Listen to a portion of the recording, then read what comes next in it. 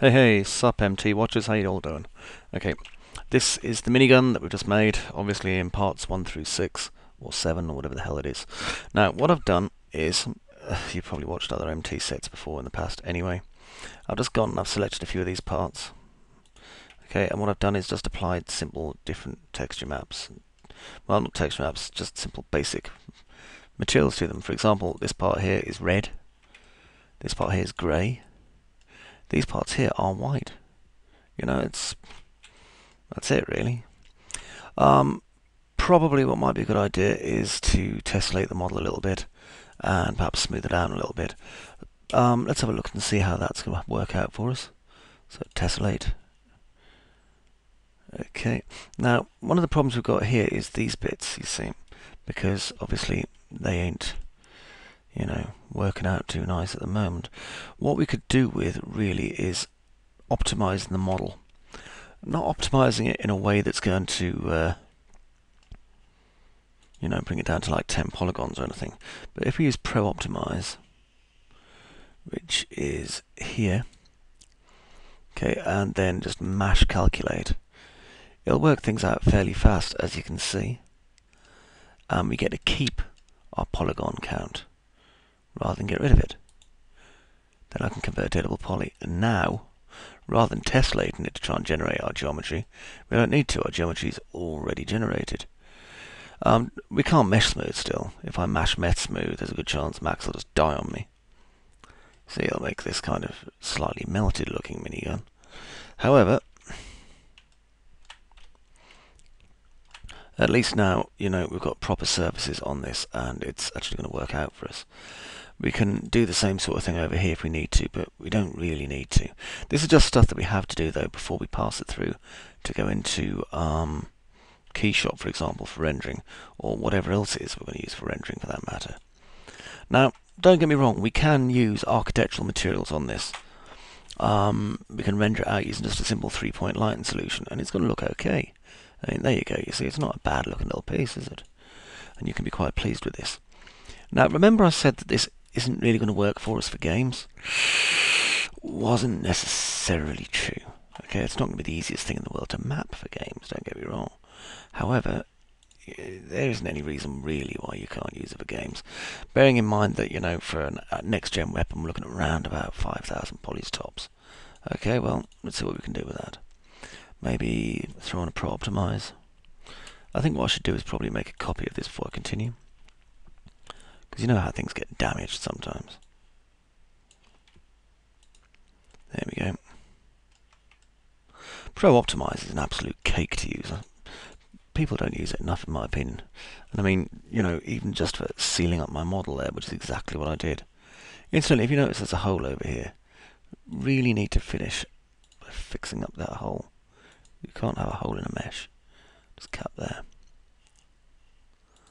I'll do the same thing here.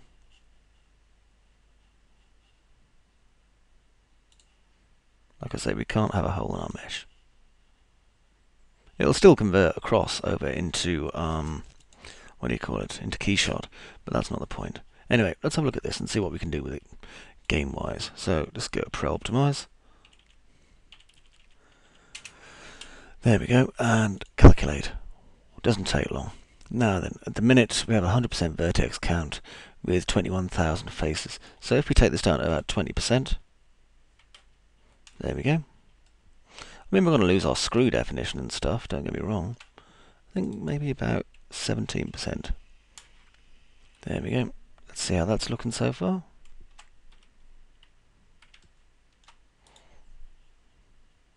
Convert that to editable poly. Okay, so that's a low poly gun job going on here. Probably do with relaxing it a little bit in places. So let's see. I mean, we could probably take out all those bolts as well. Don't relax it too much. Come on. It's going to go circular.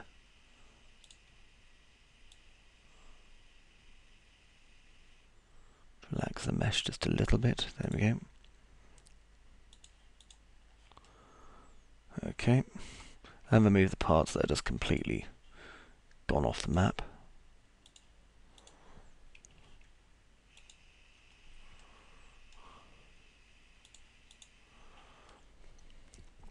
And maybe just bring these barrels down as well.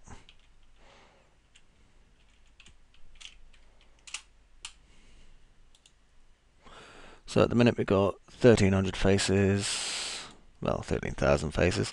Let's bring it down to 10% of vertex count. Look at that, you can't even tell the blooming difference. Well, you can at these little plates up here, but that's about it. I mean, the ends still work and everything. And you know what? Oh, you can normal map one onto the other. Well, that'd be useful. Convert to editable poly. Although, to be honest, you know, these little cylinders here, really going to have to dismantle the entire thing before you start normal mapping it. Otherwise, you're going to get some nasty little artifacts in the middle. But as you can see from a distance, the two damn miniguns look identical, to be quite honest. In fact, the one on the right looks somewhat shinier, which is kind of peculiar. So go figure. I mean, you can bring this down to under 10,000 polygons. Okay, anyway. Enough of that. Back into here again.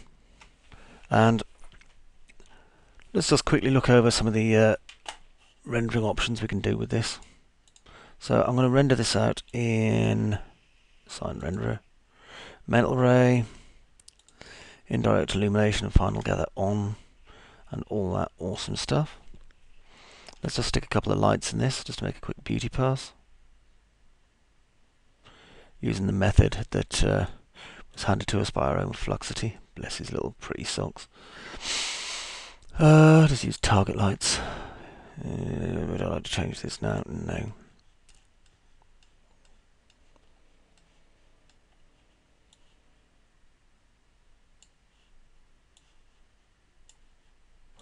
Simple three-point line solution.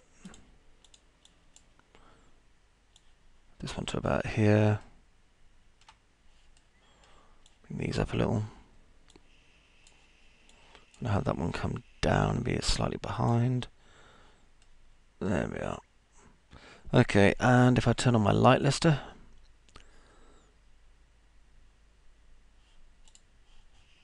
I can now turn all my shadows on. And I can change my intensity on each of these. As you see, to ridiculously over the top.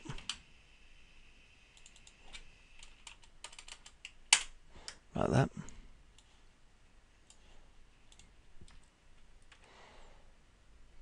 And now we should have this completely invisible gun, which is odd.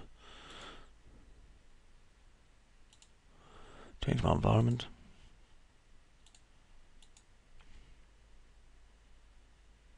As you see, you start to pick out details. Going to have to bring the gamma up and bring these up a bit more.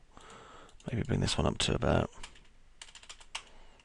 500,000 against this being 250,000 and this being maybe 275,000 on the intensity.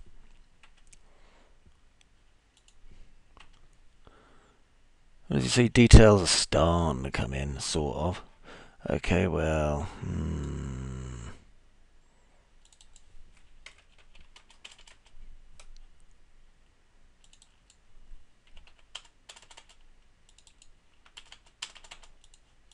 And so on. I mean, this is kind of one of the things that is always fun, kind of tweaking and messing around with your render settings to try and get a good solution. Uh, on, let's go to our customize preferences and check our gamma.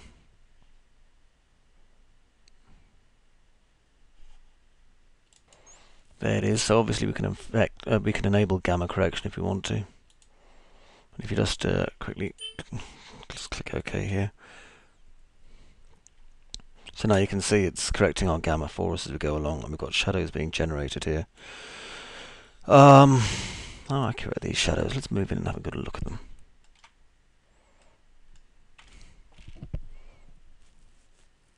Yeah, that's not bad actually. It's picking up the shadows quite nicely there.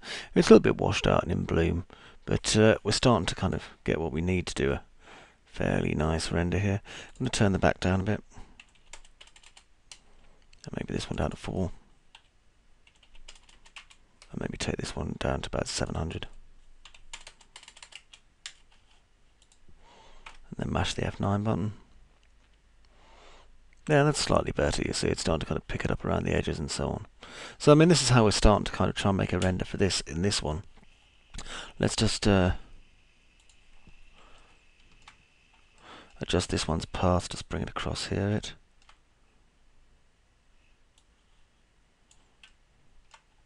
This should make it a little more highlighted. See how that comes out.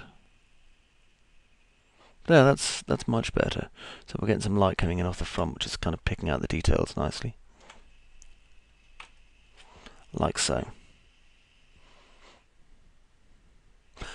So if I just make this a slightly larger render, so get a common and maybe, I don't know, let's make it 1200 by 900 and click render. This will show you off the uh, nice image that we've just been working on. I mean, give it a minute to render, but it won't take particularly long, even on my machine, which is not especially well. And whilst I, you know, obviously don't have a lot of very complicated materials going down at the moment, if I just save this off as a workbench, if we were to just, uh, no, then let's see, just uh, open my material editor and I'm just using the compact at the moment. And just go over here to our arch and design and pick perhaps a metal. We've got plenty of metals down here. So we've got a nice brushed metal which always does quite well for a gun metal alike. Now I'm going to go in and change the actual uh, diffuse color on this make it much darker. And then the reflection color here well this looks like a noise map to me so let's just mess with these a bit.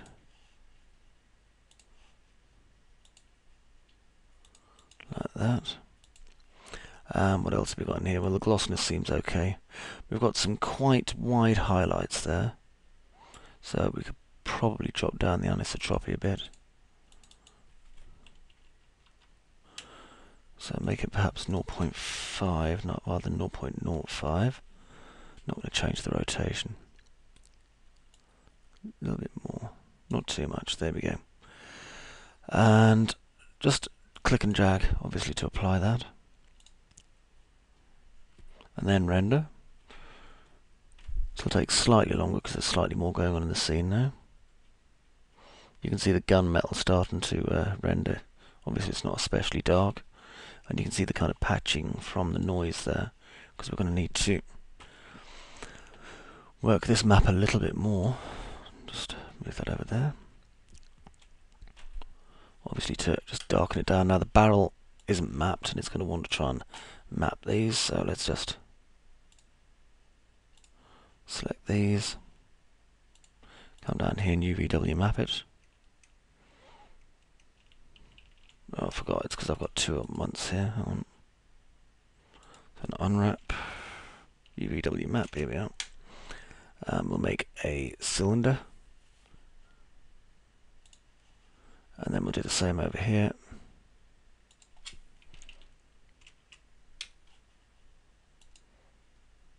Okay, now if we render, we won't get the UVW errors anymore.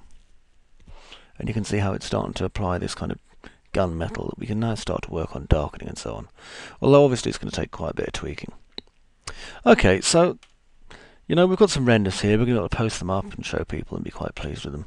But uh, Let's work on making some fast, really pretty renders.